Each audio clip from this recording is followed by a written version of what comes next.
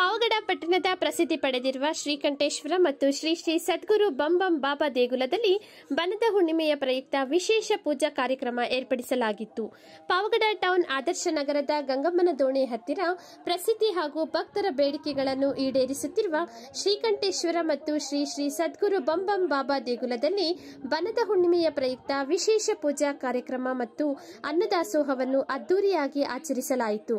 ಶ್ರೀಮತಿ ಉಮಾದೇವಿ ಕೋಪೊಟ್ಟು ಗೋವಿಂದಪ್ಪ ಹತ್ತನೇ ವಾರ್ಡ್ ಪುರಸಭೆಯ ಸದಸ್ಯರು ಮತ್ತು ಕುಟುಂಬ ವರ್ಗದಿಂದ ದೇವಸ್ಥಾನದಲ್ಲಿ ಪೂಜಾ ಕಾರ್ಯಕ್ರಮ ಹಾಗೂ ಅನ್ನದಾಸೋಹ ಕಾರ್ಯಕ್ರಮವನ್ನು ಆಯೋಜಿಸಲಾಗಿತ್ತು ಹಾಗೂ ಬರುವ ಭಕ್ತರಿಗೆ ಎಲ್ಲ ವ್ಯವಸ್ಥೆಗಳನ್ನು ದೇವಸ್ಥಾನದ ಆಡಳಿತ ಮಂಡಳಿಯಿಂದ ಏರ್ಪಡಿಸಲಾಗಿತ್ತು.